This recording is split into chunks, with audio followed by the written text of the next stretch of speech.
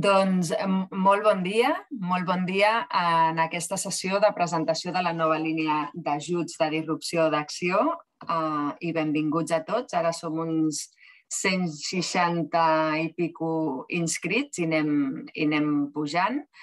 Uh, bueno, D'aquí poc esperem que puguem fer aquestes presentacions eh, presencials, però, però aquesta nova manera de fer també ens dona noves oportunitats i que aprofitarem i que després us explicarem. Vale? Uh, esperem que sigui molt interessant i profitosa per tots vosaltres i moltes gràcies per acompanyar-nos avui aquí. I així doncs eh, dono pas a, al David Rubirosa i a l'Alberto Ruella perquè continuïn. Moltes gràcies. Moltes gràcies, Anna. Benvinguts a tots els que esteu ara seguint en directe la sessió.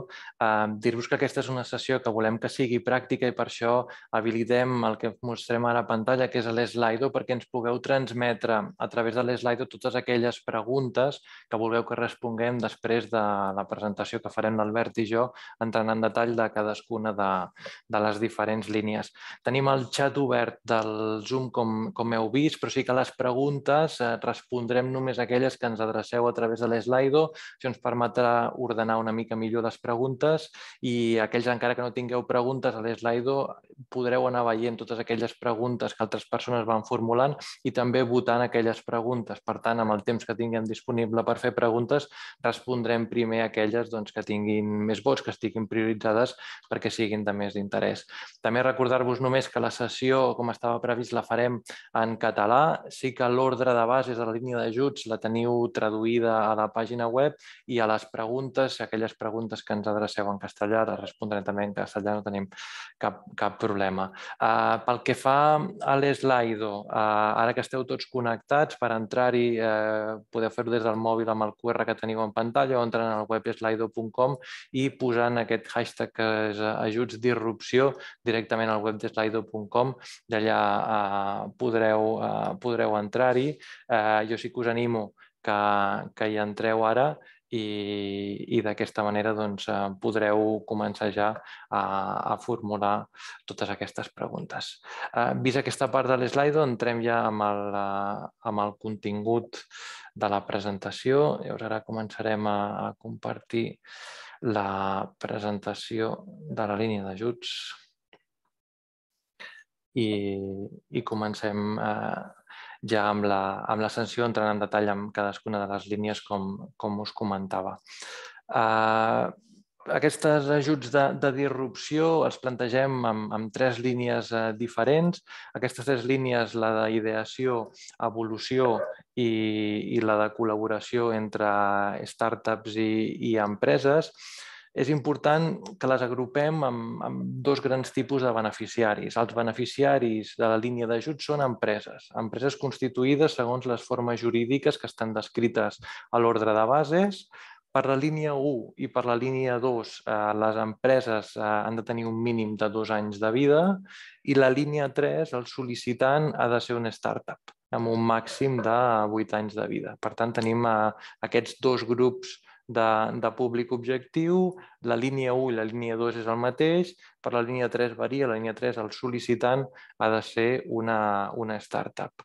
Per presentar les sol·licituds i al final de la presentació hi entrarem més en detall, és important destacar que tot el procés de sol·licitud és un procés eh, electrònic i s'haurà de presentar tant el formulari de sol·licitud com la memòria tècnica i fem ja una primera alerta de que en alguns casos doncs, hi ha alguns annexes que són obligatoris que s'han d'adjuntar, això amb els, eh, les plantilles que teniu disponibles de memòria tècnica ja està descrit, després hi entrarem però sí que volem insistir-hi i sobretot que no hi hagi problemes per defectes de forma de que faltin algun tipus de documentació.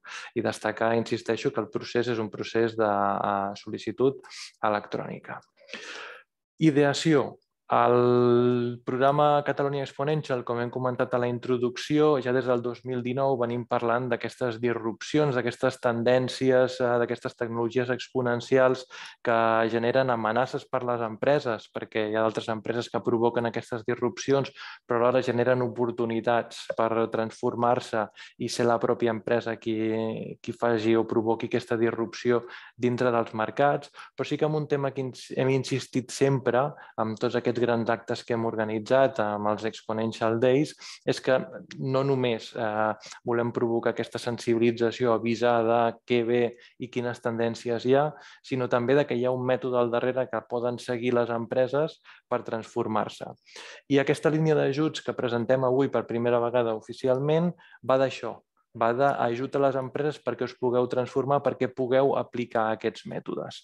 Amb aquesta primera línia el que busquem és la ideació. Busquem que les empreses s'avancin al futur i comencin a idear aquestes iniciatives que poden ser iniciatives disruptives. I idear què vol dir? Doncs el que es planteja a, a l'ordre de bases és que aquest procés d'ideació primer ha de contemplar un anàlisi del model de negoci actual de l'empresa, s'han d'explorar quines són les tendències eh, que hi ha a nivell global, quins models de negoci ja estan començant a irrompre en el propi sector o en d'altres sectors, models de negocis que moltes vegades són les startups els que s'estan eh, implementant, quines són les tecnologies, eh, aquestes tecnologies exponencials en les quals podem apalancar els nostres models de negocis per generar aquestes disrupcions i, i veure doncs, quines oportunitats en genera tot això. A partir d'aquí, volem que s'ideïn múltiples eh, iniciatives i que eh, es destrin eh, d'aquest primer llistat doncs, unes quantes d'aquestes iniciatives per fer un primer esbós de eh, com funcionaria aquesta iniciativa, quin model de negoci seguiria, etc. Un primer esbós per poder doncs, eh, rebre un primer feedback sobre si aquesta iniciativa té potencial o no té potencial. Aquests processos d'ideació típicament es fan eh, en equip i per això l'ordre de base s'especifica que hi ha d'haver un mínim de quatre persones eh, participant en el, aquest procés d'ideació. Quatre persones que han de ser complementàries, quatre persones que és un mínim. Eh, idealment ens agradaria doncs, que fossin més, però aquest mínim que s'ha de complir per poder rebre l'ajut són quatre persones. També s'especifica a l'ordre de bases que aquestes quatre persones han de dedicar 32 hores de dedicació a la seva jornada laboral. Eh, no es fixa un límit en el qual s'han de fer aquestes 32 hores, ha el límit de, de 9 mesos eh, que teniu per poder executar l'ajut, però sí que típicament aquests processos d'ideació van entre 5 i, i 10 setmanes i es recomana tampoc que no s'allarguin molt en el temps, eh, perquè si no doncs, eh, eh perden efectivitat aquests processos. Per tant, doncs, eh, són aquests processos de 5-10 setmanes el que habitualment passen. Aquest procés d'ideació amb aquestes metodologies que es poden eh, utilitzar.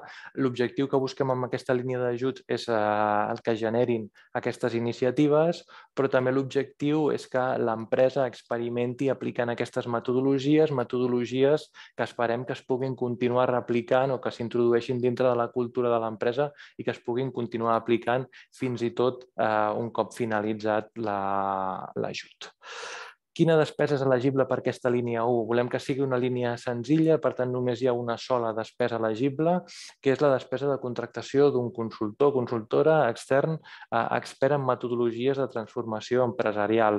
Això és una línia de mínimis eh, i el cost ha de ser, està subvencionada al 100% i el cost eh, total de la despesa de ser inferior a, a 15.000 euros.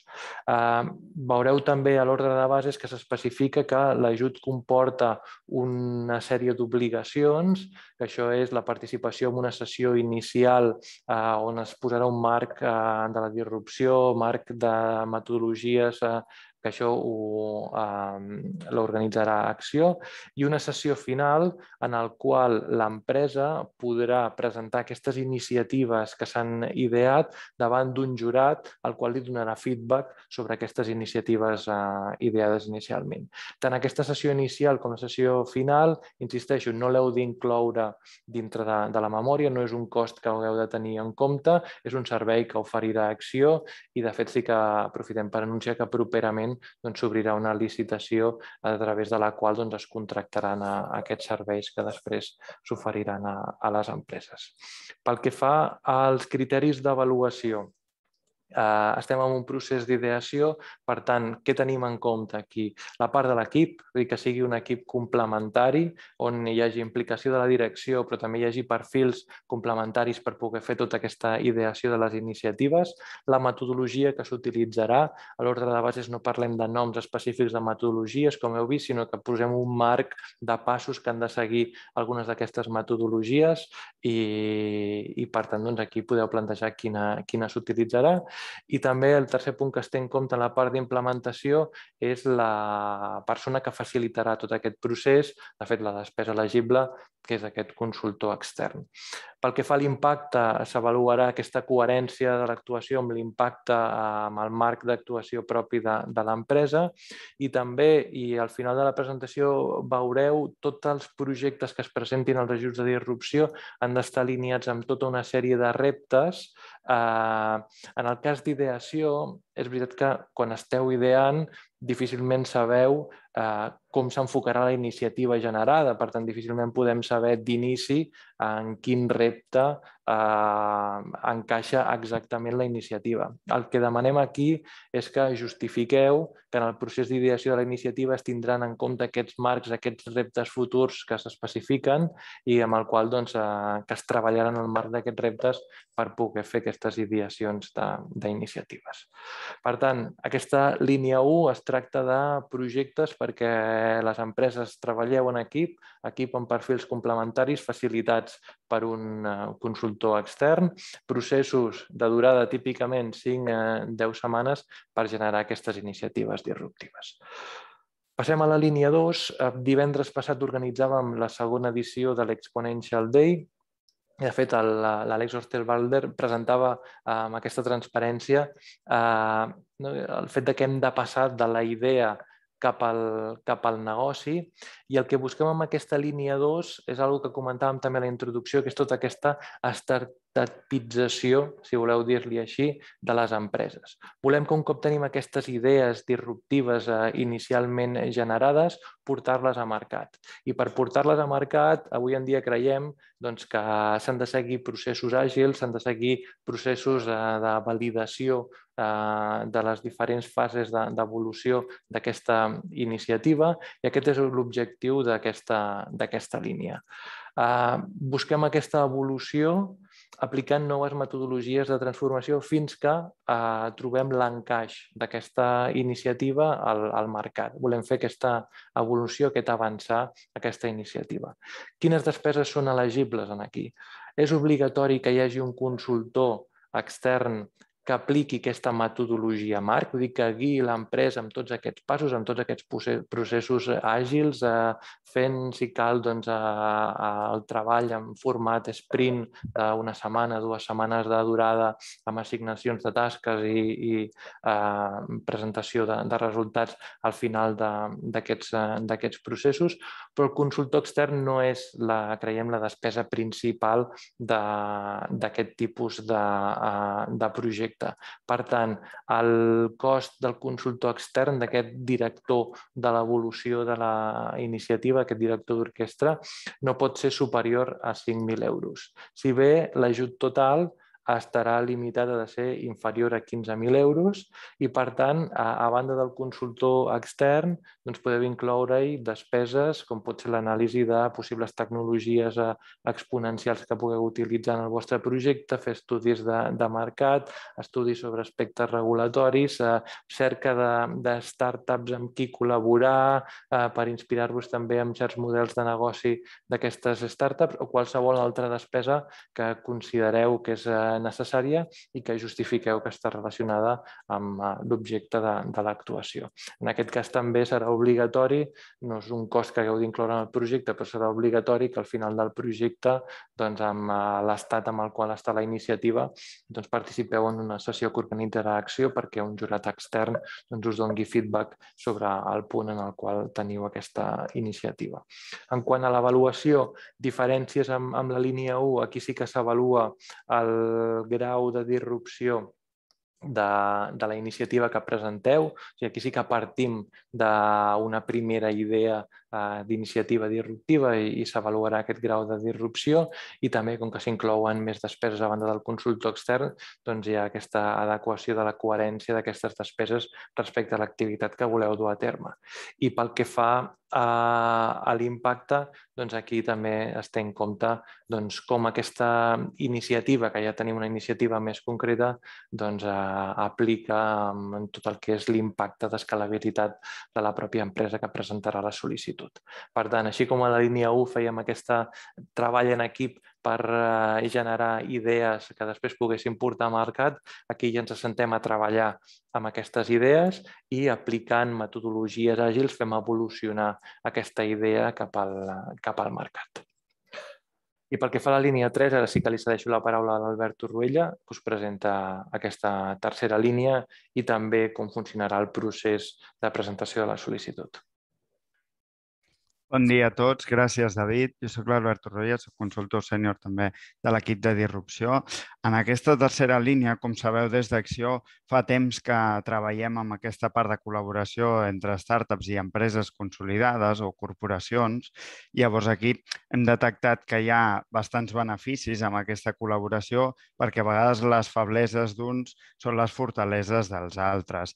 Llavors, l'any passat ja vam iniciar un estudi en el que vam entrevistar més de 50 empreses, tant empreses consolidades com startups, i a partir d'aquí vam ajudar a dissenyar aquesta part de la línia. No? Si anem avançant, David. Llavors vam veure una mica això que, que s'explica aquí, no? de les sneakers versus les corbates, no? com els beneficis i els actius que poden aportar les grans corporacions complementen molt bé amb aquestes metodologies àgils que abans deia el David, aquesta startupització de les metodologies que utilitzen les startups per tant d'idear, validar mercat i de llançar nous productes. No?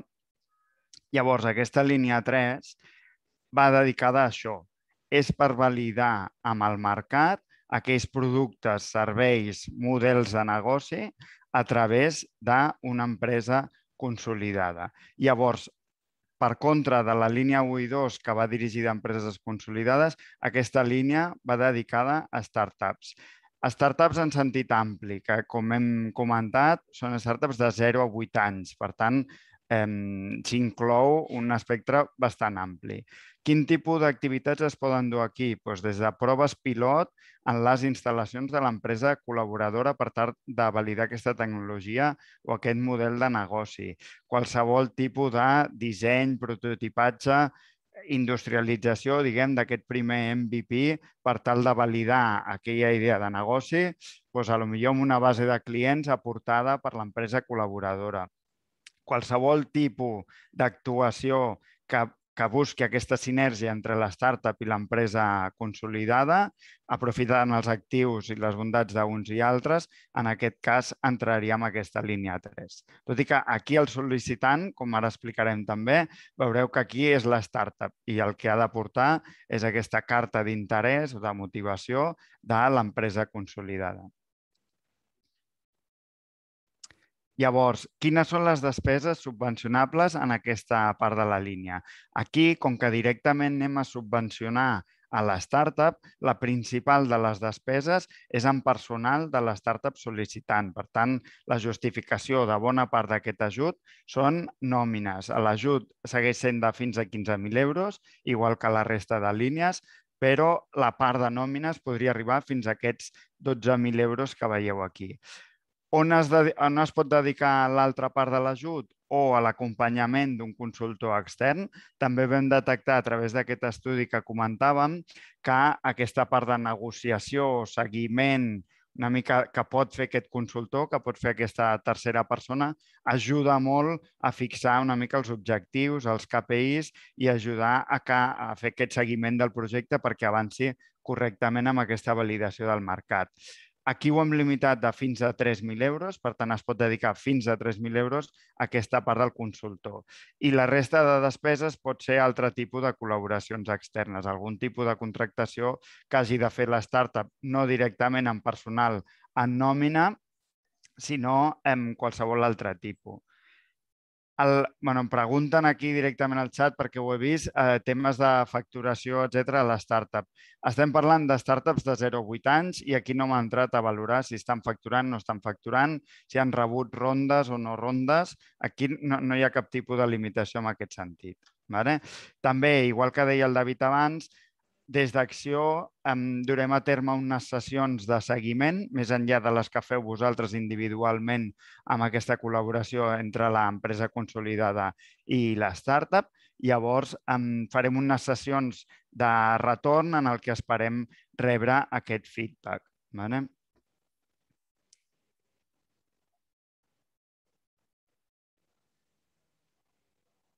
Vale, els criteris de valoració són molt similars a la resta, els tindreu a les bases. Llavors, aquí què valorem? El grau de disrupció, o sigui, la, el primer bloc és d'implementació del projecte, llavors aquí valorarem el grau de disrupció d'aquesta startup, l'equip participant en l'actuació principalment de la startup, però millor també pot ser alguna persona de l'empresa consolidada en el que participi d'aquest seguiment i aquesta validació del mercat, la metodologia que es pugui utilitzar, l'experiència i coneixement d'aquest consultor i l'adequació i coherència de les despeses amb aquest projecte que es durà a terme. Aquí teniu les ponderacions de cadascuna que són, veieu que són molt similars. Això és la part d'implementació del projecte i el segon bloc seria l'impacte del projecte. Llavors aquí valorem la coherència d'aquesta actuació amb l'estratègia d'innovació de l'empresa, tant de la startup com d'aquesta corporació en la, que, en la que faran la validació, el grau d'alineament amb els reptes que ara seguidament us comentarem relacionats amb sostenibilitat i economia circular i l'impacte i escalabilitat d'aquesta prova pilot. Aquí el que volem veure és que aquesta prova pilot pot tenir una continuïtat i pot acabar representant doncs, la industrialització del projecte, que aquest eh, model de negoci doncs, acabi podent eh, disrompre el mercat en el que es troba. Us explico dos exemples molt ràpids, una mica perquè veieu del que estem parlant. Això és una startup, crec que estava inscrit, no sé si el tenim per aquí entre el públic, una startup que es diu Baula, dedicada a la detergència ecològica.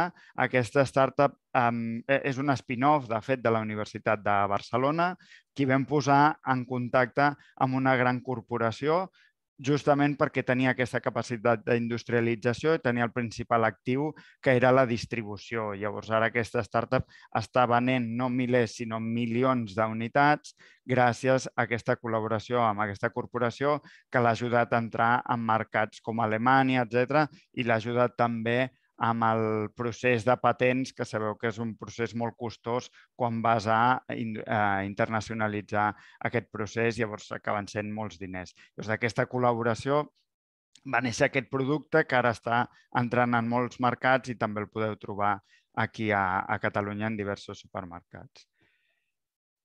I un altre exemple és el cas de, bueno, en aquest cas d'Estrella d'Am amb la startup Zumagri, és una col·laboració. Aquesta startup es dedica a fer aquest aparell que veieu aquí, que és de visió artificial. Llavors, a través d'aquest aparell es pot mesurar la qualitat del gra. Llavors, això ha ajudat molt a les plantacions que té Estrella d'Am per analitzar aquesta varietat del gra, per tal de fer el procés més transparent, millorar la traçabilitat i al final la, la sostenibilitat de les seves plantacions. No? Llavors, amb, bueno, Estrella d'Am és una empresa amb, amb les que col·laborem des de fa temps, que té un departament d'innovació oberta que treballen molt aquesta part de col·laboració amb startups.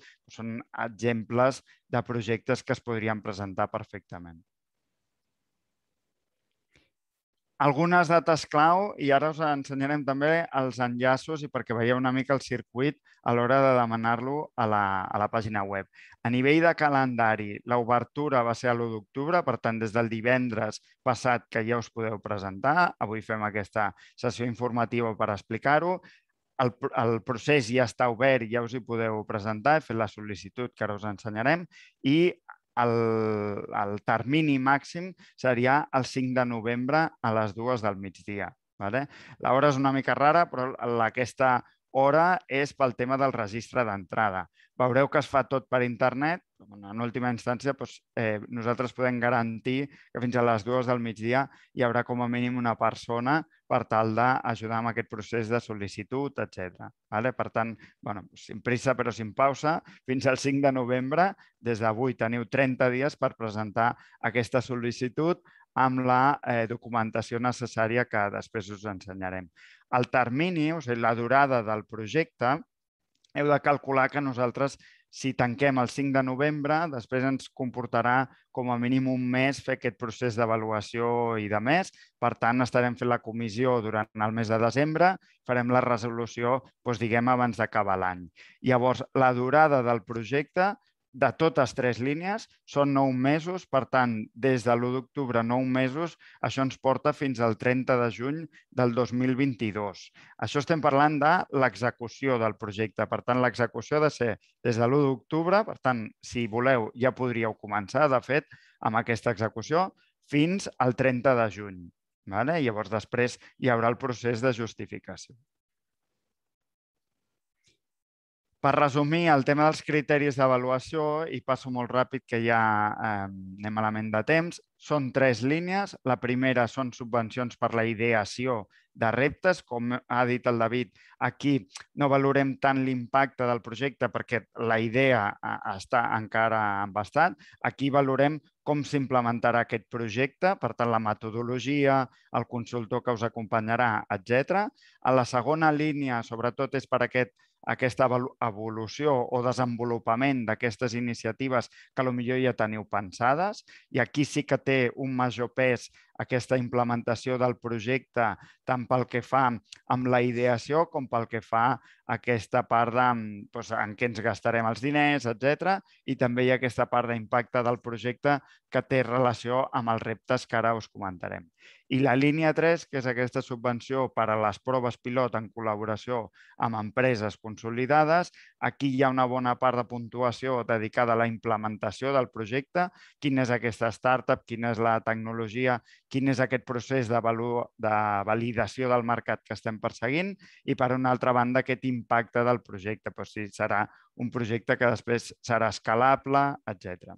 La puntuació mínima en qualsevol cas, diguem, és aprovar el projecte d'un màxim de 500 punts, demanem com a mínim arribar amb aquests 250 punts. Després veureu que ja depèn de la línia, doncs hi ha algun, algun punt que s'ha d'haver provat, alguna de les ponderacions. Això ho teniu tot explicat en les bases i de, ho teniu desglosat en la presentació que hem ensenyat abans, la part que hem ensenyat abans i que rebreu. Llavors, quins són aquests reptes que comentàvem abans?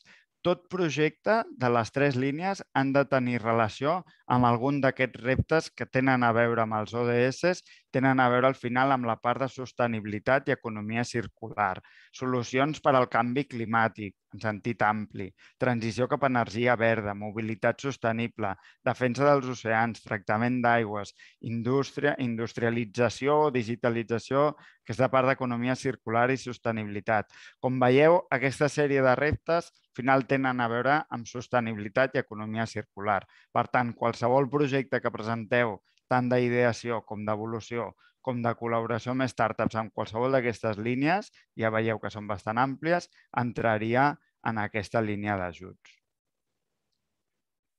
El pressupost d'aquesta línia és un milió d'euros repartida d'aquesta manera. Són 300.000 per la línia 1, que dona per una quinzena d'empreses que facin aquestes eh, ideacions, iniciatives disruptives, altres 300.000 a la línia 2, que és per aquest desenvolupament. També estem parlant d'una quinzena de projectes que es poden presentar aquí, fins a 20 projectes, i la línia 3, que és aquesta part de les proves pilot, són 400.000 euros que ens anem cap a uns 30 projectes. Això, òbviament, pot variar perquè depèn del pressupost que demani cadascú. Jo entenc que moltes empreses aniran fins a als eh, 15.000 euros, però hi pot haver d'altres que no arribin fins a aquest nivell. Per tant, mm, el pressupost pot variar una mica. I també s'ha d'entendre que és un pressupost basal, que vol dir que es pot traspassar d'una línia a l'altra. Si rebessin molt poques sol·licituds de la línia 3, doncs aquests calés es traspassarien alguna de les altres dues línies. Aquí us hem posat tots els enllaços i després us ho ensenyarem via web i farem una ràpida navegació perquè veieu cadascun dels apartats, però us hem posat tots els enllaços que tenen a veure amb aquesta línia d'ajuts. Un, l'apartat web d'acció, on ho explica tot. I allà teniu, diguem, l'apartat principal de la web on explica aquests ajuts l'enllaç a les bases de l'ajut, directament a la normativa. Jo sé que és farragós de llegir, però us ho heu de mirar també. I en les bases està totes les ponderacions dels criteris, etc. Tot el que hem explicat avui ho teniu en les bases. Com comença la sol·licitud, és a dir, l'apartat exacte de la web on pots clicar i entrar directament en la sol·licitud tot l'apartat de descarregar la documentació necessària, que ja hem dit que és la sol·licitud, aquesta que estem dient, la memòria i el pressupost del projecte, i després la part de la informació del certificat digital. Heu de saber que bueno, des de ja fa un temps tots els ajuts i processos de sol·licituds d'acció es fan online. Per tant, aquest procés també s'ha de fer online i s'ha de fer amb un certificat digital vàlid. Aquí teniu un apartat de la web on explica com demanar el certificat si és que el necessiteu i encara no el tenim.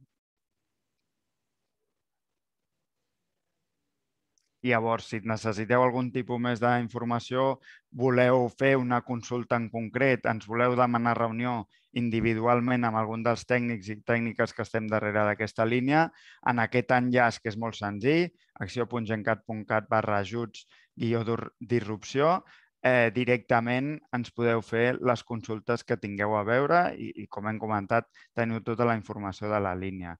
Veig que ja hi ha bastantes preguntes, ara les anirem responent totes. Sí que us demanem, si us plau, que aneu a l'Slido perquè ens permet, amb aquesta codi dels ajuts d'irrupció, sí que ens permet ordenar aquestes preguntes i que no quedi ninguna sense respondre. Responc una molt ràpid, que s'ha posat aquí pel xat i és si aquesta empresa consolidada pot ser de fora. Sí, em, vull insistir en una cosa.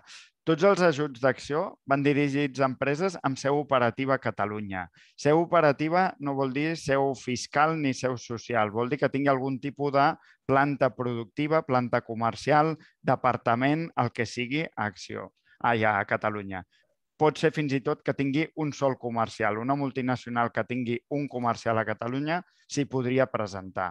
En el cas de la línia 1 i 2, seu operativa vol dir que tingui algun tipus de planta perquè estem parlant d'empreses consolidades. En el cas del tipus 3, la que ha de tenir la seu operativa a Catalunya ha de ser la startup, per tant, ha de ser una startup de Catalunya. Les startups generalment no tenen un headquarters i tenen moltes plantes, sinó que generalment tenen una única seu. Per tant, en aquest sentit, estem parlant de startups catalanes. La, la corporació, aquesta empresa col·laboradora amb qui parla, pot ser de tot el món. Vale? L'empresa pot ser d'on sigui, perquè nosaltres a qui li donem l'ajut és en la startup. Per tant, és la startup la que ha de tenir aquesta seu operativa aquí a Catalunya.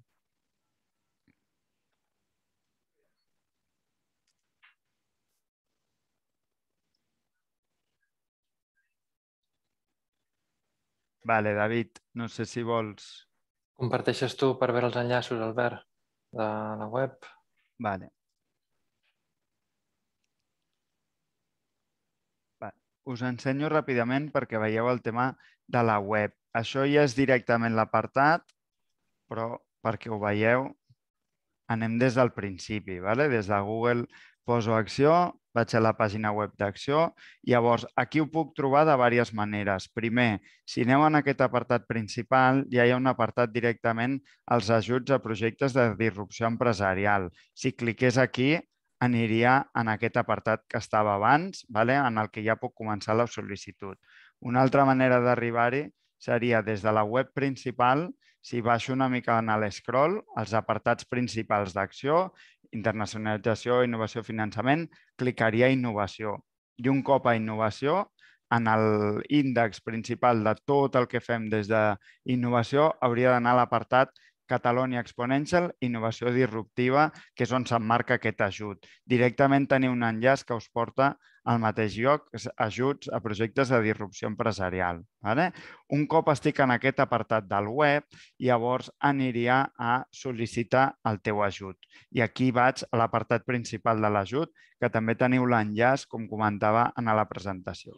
Aquí teniu una mica la informació que hem compartit abans, aquí va dirigit aquest ajut, etc. i ja directament al procés de sol·licitud. També tindríem doncs, qui és l'organisme responsable, en aquest cas és només acció, i la normativa que ens portaria a les bases que hem comentat de, de llegir. Vale? I en la documentació relacionada sempre fem una fitxa resum de l'ajut que us podeu descarregar clicant aquí. Vale? Si ja estic en el punt de voler començar a sol·licitar l'ajut, aniria en aquest apartat d'aquí sota i aquí, sobretot, m'he de mirar dues coses.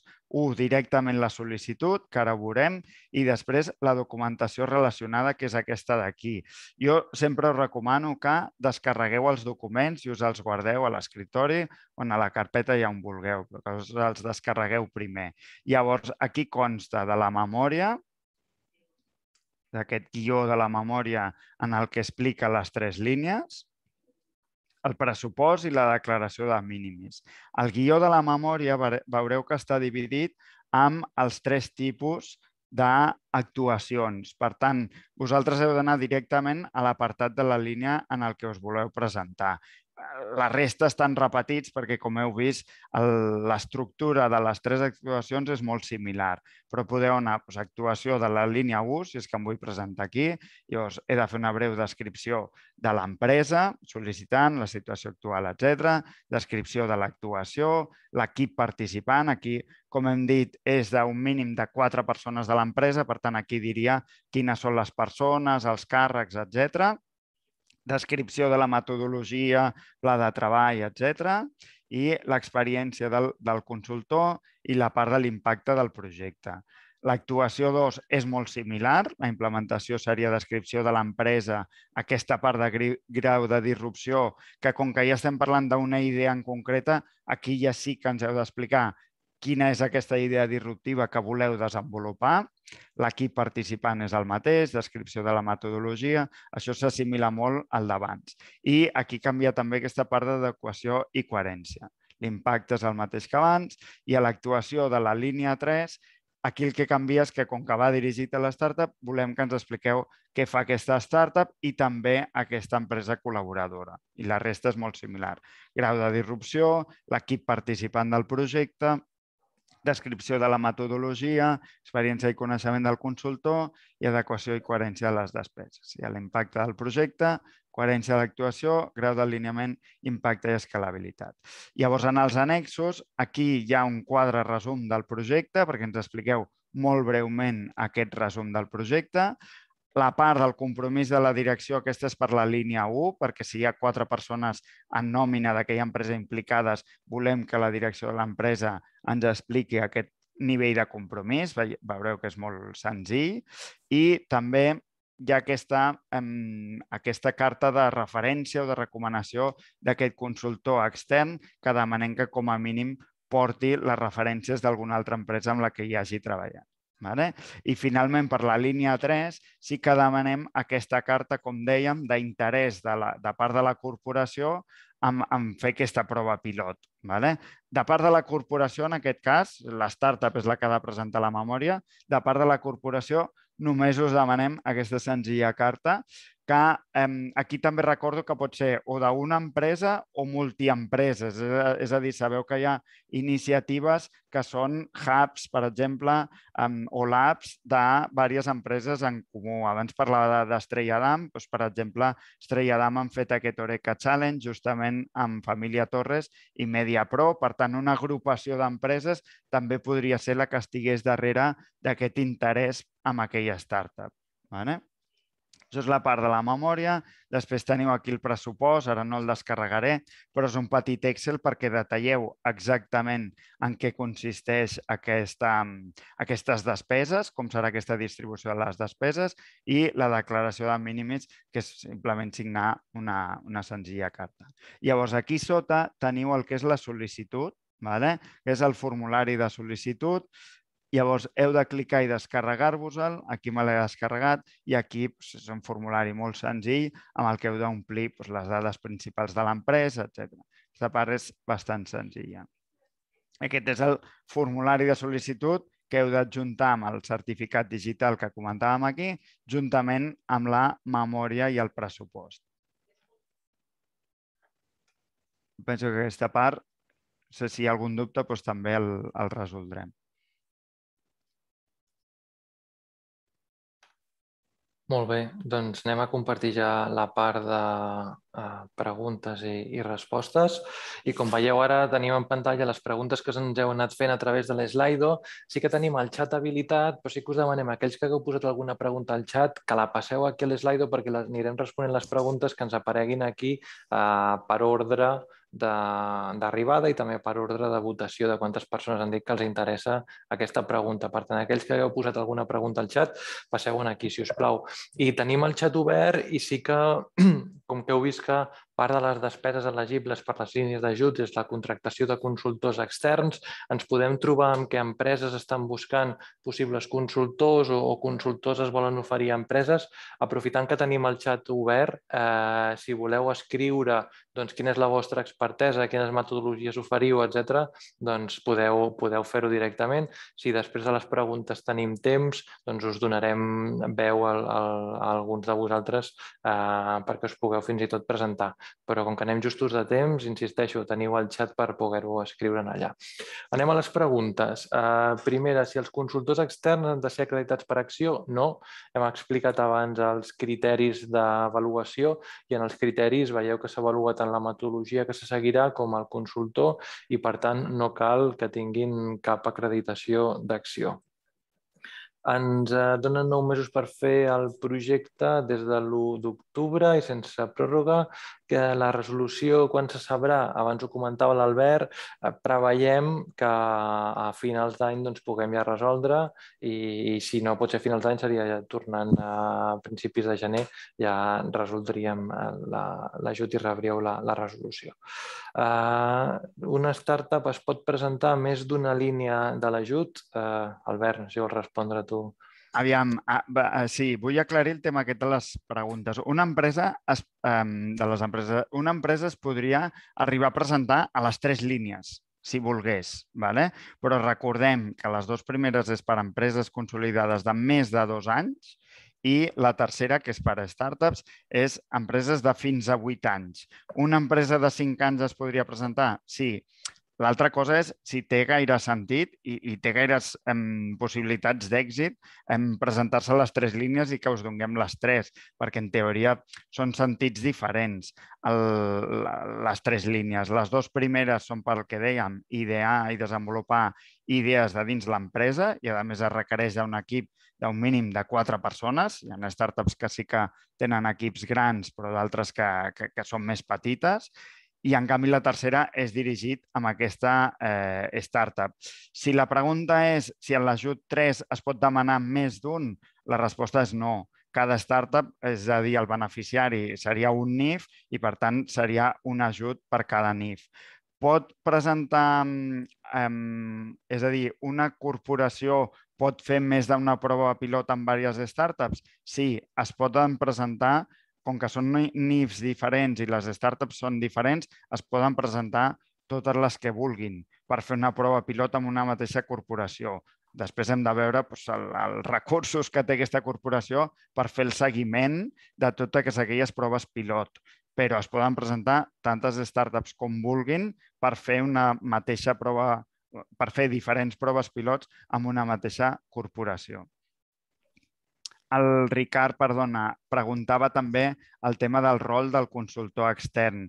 Ricard, en el teu cas, com que vosaltres sou una startup, aquí seria per la línia 3. Heu d'entendre que el rol del consultor és fer seguiment, acompanyament, eh, determinar els objectius. Al final, aquesta part del 3, de fins a 3.000 euros que diem del consultor extern és, són unes cap a 30-40 hores d'acompanyament. Això permet fer unes primeres reunions per fixar els objectius d'aquella prova pilot, quins són els resultats esperats, etc i fer una mica de part neutral o de, de negociació entre amb dues parts. I després, quan s'acabi el projecte, doncs, també ajudar-vos a presentar amb la memòria els resultats obtinguts i aquells eh, KPIs que permetrien que després el projecte es pogués industrialitzar i anar endavant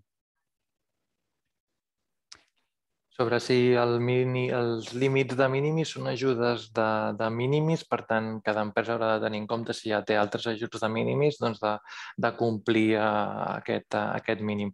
Uh, sapigueu també que dintre de, de la web uh, trobareu el que és la fitxa d'informació dels ajuts i hi ha una adreça de correu electrònic per a tots aquells dubtes administratius. O sigui, hi ha dubtes que segurament haurem d'anar cas per cas, doncs ens podeu adreçar els dubtes i, i els anirem responent, com si teniu dubtes sobre si heu complert o no complert els temes de, de mínimis. Sobre si podeu escollir l'assessor, sí, cada empresa ha d'escollir l'assessor que, que consideri adequat per, uh, per fer l'ajut. Això és a cada empresa el, el tria directament. De l'ajut 3, eh, és possible que els diners de l'ajut vagin destinats a pagar sou d'un soci treballador que està en règim d'autònoms? Albert. Sí, la resposta és sí. Aquí penseu que hi ha tres tipus d'ajuts possibles o de despeses possibles. Primer, les nòmines del, dels eh, socis treballadors, dels socis de la startup. Això inclou el règim general assimilat, és una cosa molt tècnica, però inclou aquells eh, socis autònoms que tenen una participació de l'empresa i a la vegada hi treballen. També permet el fet de contractar aquest consultor extern i també permet altres tipus de despeses. Per tant, si fos un autònom fins i tot sense vinculació amb l'empresa, també se'l podria contractar. Aquí l'important és que ens ho especifiqueu a la memòria i nosaltres ho avaluarem i si obté l'ajut, doncs òbviament ho podeu destinar en, aquella, en aquell apartat. El 3 també si les empreses poden ser hospitals públics catalans. Sí, aquí no hem concretat molt la forma jurídica que hauria de tenir aquesta empresa col·laboradora. Pensem que ha de ser una empresa, però aquí el que preval és la forma jurídica. No sé si hem insistit prou. El que preval és la forma jurídica de l'startup. L'startup ha de ser, i també l'empresa consolidada pels tipus 1 i 2, ha de ser una empresa mercantil. Mercantil vol dir SL, SA, cooperativa i societat laboral vale? en el, com a beneficiari dels ajuts a ser societat mercantil. Aquesta empresa col·laboradora, doncs en la memòria nosaltres ja ho veurem, però al final no és beneficiària de l'ajut. La que és beneficiària és la um, startup o l'empresa consolidada. Si es poden combinar les línies 1, 2 i 3, que això ja és el, una mica el que hem comentat abans també. Sí, sí té sentit. Jo diria aquí, sobretot el que té més sentit és la línia 1 i 2 són combinables. Una mateixa empresa consolidada podria demanar la línia 1 i la línia 2 i la línia 3 hem dit que era per a startups. Em sembla difícil que una startup tingui a vegades a la vegada un projecte d'ideació o hagi fet un procés d'identificació de reptes, però bueno, podria arribar a ser. La següent pregunta crec que ja s'ha respost, que és que el corporate pot ser europeu. Si l'ajuda la sol·licita la startup catalana, la resposta és sí. La corporate pot ser mm, d'arreu del món. No, no demanem la, mm, la seu social ni res d'aquesta empresa. De uh, l'ajut 3, uh, si podem aplicar la subvenció si ja tenim iniciat el desenvolupament d'un mínim producte viable i destinem els diners a completar i finalitzar aquest mínim eh, producte viable de la línia 3. Sí, la resposta és sí. Al final penseu que hem posat diverses coses, hem posat validació del mercat, eh, validació d'aquest MVP o desenvolupament d'aquest MVP, nosaltres aquí el que volem és que ens expliqueu el projecte i que ens digueu, doncs mira, estem en aquesta fase, hem començat ja aquesta col·laboració. Sí que s'ha d'entendre que les despeses que presentareu han de ser a partir d'ara. El que heu fet fins ara no, no entra en aquest ajut. Vale? Són despeses a partir d'ara i fins al 30 de juny del 2022, com hem dit. Vale? Sobre si les propostes les ha de presentar l'empresa o ha de ser conjunta entre empresa i consultor. Uh, L'ajut, uh, el beneficiari és l'empresa, per tant el sol·licita l'empresa i el consultor és la despesa elegible, però l'ajut és, uh, és per l'empresa i, i el sol·licita l'empresa.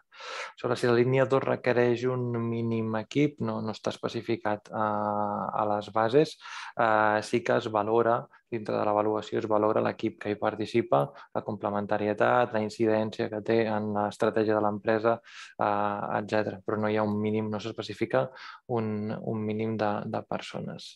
Eh, la subvenció és en eh, forma de, de bestreta o s'aporta al final, Albert? si tu tens clara la, aquesta. Sí, l'ajut hi, ha, hi ha una part que es pot demanar bestreta, és a dir, imaginem que jo sóc un beneficiari, que la resolució he obtingut l'ajut, jo des d'aquell moment puc demanar una bestreta. Llavors, en les bases teniu els percentatges que es donen. Mai es dona el 100% per anticipat, però sí que es dona un percentatge considerable de la bestreta, que serien les despeses en què després incorrerà l'empresa a partir del 30 de juny jo començo a justificar l'ajut, llavors imaginem que el juliol del 22 demostro totes les despeses que he efectuat i cobraria la resta del, de l'ajut. La següent ja la responc directament. La línia 3 poden ser autònoms o cal que sigui empresa constituïda. Ha de ser una empresa constituïda amb les formes jurídiques mercantils eh, que hem comentat. SL, SA, cooperativa i laboral. Els autònoms aquí no estan inclosos. A la línia 1 es parla de quatre persones. Què passa si l'empresa té un equip de, de menys de, de quatre persones? Uh, aquí, en aquest cas, uh, és una consulta que, que ja ens han fet algú a partir de les bases i hem de fer la consulta jurídic de veure què passa amb aquestes, amb aquestes quatre persones, uh, de si han de ser estrictament amb nòmina de l'empresa o, o poden ser col·laboradors de l'empresa. Per tant, eh, aquells que tingueu aquest dubte sobre la, la quarta persona, sí que us demanem que en, ens adreceu aquesta consulta i, i us la resoldrem per escrit sobre, sobre aquest tema. Sobre la línia 3, per les proves pilot, eh, si les despeses dels equips es poden incloure, Aquí la part d'equipaments té una normativa mm, que, que és bastant difícil d'incloure. Petit eh, utillatges fungibles, etc sí que estan inclosos i sí que es poden incloure, però tot el que sigui equipaments de maquinàries, adequació d'instal·lacions, com, com posa aquí, reformes, etc, no estan inclosos. Penseu en aquestes tres eh, conceptes que hem comentat les nòmines, diguem, o el pagament del personal de, de la startup, la part de contractar aquest consultor extern per fer aquest seguiment i altres contractacions externes que necessiti l'empresa. Contractacions externes no, no vol dir equipament. Les startups solucions d'IoT per salut digital... Eh si es poden presentar i amb, i quina, i amb quina categoria. La resposta és sí a la tercera, a la línia 3, perquè posa startups eh, amb solucions d'IoT. Per tant, seria per la línia 3. Vale? els àmbits necessaris eh, per la disrupció, que són només ambientals, això ho trobareu, eh, abans ho comentava l'Albert a la presentació, a l'ordre de bases trobareu descrits cadascun d'aquests àmbits que hem passat eh, una mica per sobre i a la descripció específica, si és un ODS el que fa referència o el repte al que faci referència, a l'annex, en un dels annexos de l'ordre de bases estan descrits cadascun d'aquests reptes i, i el que fa referència. Sobre si el procés és dintre 2021 o 2020 2022. Els projectes eh, poden començar des del moment, des, des de l'1 d'octubre, el moment en què s'ha publicat la convocatòria, s'ha obert la convocatòria, i, i fins a tenir aquest període de nou mesos que abans explicava l'Albert.